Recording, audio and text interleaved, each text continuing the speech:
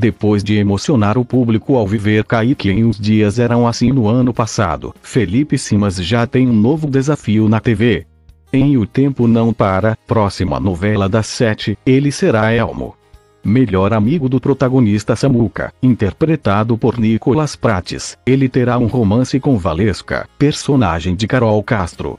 A relação, no entanto, promete ter uma reviravolta quando o jovem conhecer Miss Celine, vivida por Maria Eduarda de Carvalho, que integra uma família que foi congelada há 132 anos e desperta no litoral paulistano nos dias atuais. Na trama, Elmo mora na casa de Samuca, que conhece desde a infância, e está sempre em pé de guerra com Bettina, a namorada do amigo, interpretada por Cleo Pires. A vilã não aceita que ele viva lá e promete infernizar a vida do jovem. Escrita por Mário Teixeira e com direção artística de Leonardo Nogueira, O Tempo Não Para está prevista para estrear em julho.